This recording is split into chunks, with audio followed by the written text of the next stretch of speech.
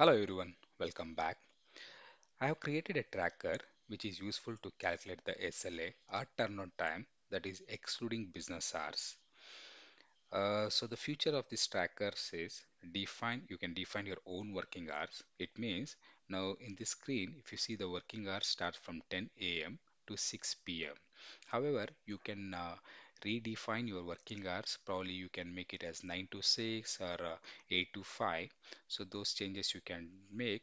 Accordingly, the SLA will be calculated. And next one is the SLA hours. Now currently in the screen you see it is uh, 2 hours but you can make it as 4 hours, 6 hours or anything for that matter. So SLA hours means like uh, in this case if it is 2 hours means like uh, if I receive the case now within next 2 hours you need to complete the case that is called SLA hours. And then you have SLA status. Now in this table you can see the SLA status what what is met what is not met. 9 cases is met and 2 is not met and you also see the percentage and this is the live count as soon as you complete the case the count will be added here and you have the percentage what is met what is not met then you have the date and time using capture uh, using macro you need to manually type the start time or end time you just need to select the cell and click here for the time automatically the current date and time will be captured so this is how uh, the tracker is uh, built. Now let's look into the tracker for that more details. Here is the working hours. In this case, we have 10 to 6 p.m. Now let me make the changes uh, or before making the changes, let's look into the example. So for row number 10, I have a case which was issued on 18th February, that is on Saturday, Sunday. And uh, if you see the SLA receive date and time, it is taken on 20th February at 10 a.m. And the reason is since Saturday, Sunday, it is assumed that it's a weekend, we are not working. So SLA will not consider for the calculation. Hence, from 18th February, whatever the case is received, it is showing as 20th February. Now working hours is defined as 10 a.m. and that is the reason you have a 10. For example, now if I make the changes as 9 hours that you start the business at 9th hour, you can see, you can notice here it now currently it is 10 automatically it will make it it will get changed to 9. Now again end time I can also make it changes as per uh, my requirement I can make it as 17 here accordingly the changes will happen. Now working hours is done. Again, let's look into more cases on working hours.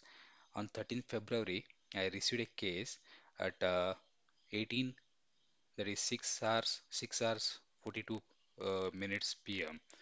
So since this case was received after the business hour, because our business hours end at 17, that is 5 PM, this case is considered as received on next day, that is starting of business hour 9 a.m. Now let me make the changes here. Now instead of uh, 5 p.m.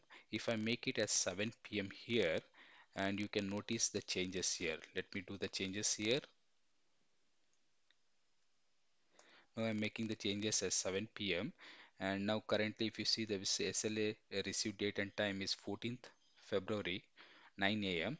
If I make these changes you can see uh, this case is still considered as received on 30th February because this case was received within the business hours. So this is how the working hours is uh, captured. Uh, you can uh, predefine your working hours according to your requirement. Now let's look into the SLA hours. Now SLA hours is considered as 2 hours. It means any case you received within 2 hours you need to complete. Now let's again look into few more examples here. The first example again row number 10 18th February we received and this is considered as 20th February since because of weekend and 9 o'clock is the business hours and it considered as a received date as 9 o'clock. And by 11 o'clock it should become the case should be completed because from 9 to 11 is 2 hours because we also defined SL as 2 hours. Just in case let me make the changes here instead of 2 hours I will make it as 6 hours and you can see the changes what will happen here uh, instead of 2 I will make it 6 uh, please note here uh, 20th February 11 a.m. if I just press enter here then you can see the changes automatically happens because Now the SLA is 6 hours. If the case is received at 9 o'clock, 9 from 9 to 6 hours, it is 13 hours or 15 hours. Likewise, and uh, in case if the case was received at uh, 9 uh, 642 in the second case, uh, and since it has received within the business hour, it has considered as SLA received date and time at the same time.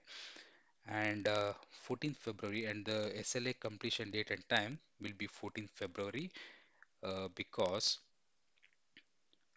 uh, the SLA from here it stop at 7 o'clock and from then it start from the next day from 9 a.m. and it adds whatever the remaining. So that ends at uh, uh, 42 like uh, 12 hours 42 or 1 close to 1 o'clock. So this how uh, you can uh, predefine you can define your SLA everything is automatic. You can customize your working hours and SLA hours according to your requirement. Now SLA status. As soon as uh, you can see the status as met not met and you have total of uh, 12 cases here. Sorry your total cases of 12 you can see all 12 is reflecting what is met what is not met. So what is met here is like in case whatever the SLA completion date and time? If you are completing the case before the SLA it will be considered as met and if you are not able to complete the case within that uh, SLA completion date and time it is considered as not met. So it is again formula driven. As soon as you capture the date and time automatically the SLA will be status will be uh, captured or calculated. Now again uh, you no need to uh, manually uh, capture the receive date and time. All you need to do is you just need to select here for receive date and time. I just click here automatically you see uh, the current date and time is captured. And then I just you already have the formula driven here. Just press Ctrl D to get the uh, SLA receive date and time. And then you have next case. And then you can have the completed status whatever the status you want and if you have some comments you can update. Again for uh, SLA completion date and time you just need to select the in the cell and just click here. It will capture the current date and time. And then you can just press Ctrl D to get the uh, status of SLA met or not met. And if you notice here it was 12 now it has become 13 because now again you have one more case added and it is met and you can see the changes in the percentage